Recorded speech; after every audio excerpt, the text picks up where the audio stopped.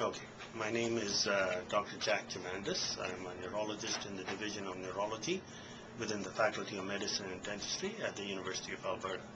And what did you discover regarding Alzheimer's disease? Well, as you know, Alzheimer's is a devastating medical condition for which there is no known cure. And we have uh, discovered a compound that actually could protect brain cells that are affected in Alzheimer's disease from the toxic effects of a protein.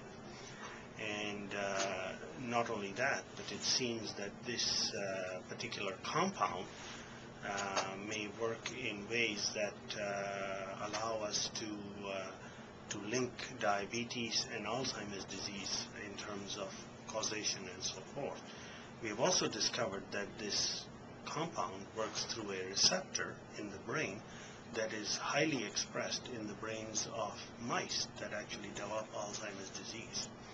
So we are particularly intrigued with the idea of using this drug as a way to protecting brain cells in Alzheimer's disease and preventing its progression or reversing its effects. What kind of impact does this drug have on cell death in the brain? Well, it, uh, as I mentioned, that it is protective. So when cells in the brain are exposed to this amyloid protein, uh, there is cell death and a lot of destruction through a variety of pathways in the brain.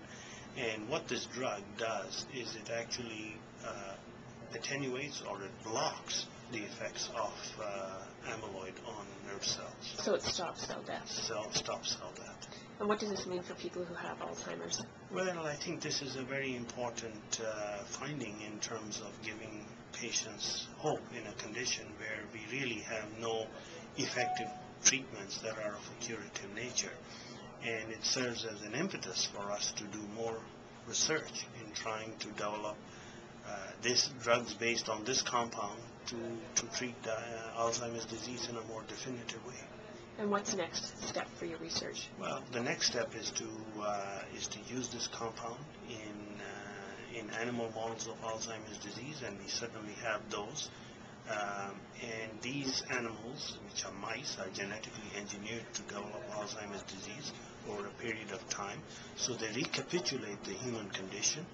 And what we would like to do is to administer this drug to animals and see if we can block both the pathology and the learning and memory deficits that these animals develop. And once we have done that, we are be ready to take this into clinical trials and go from there. Thank you.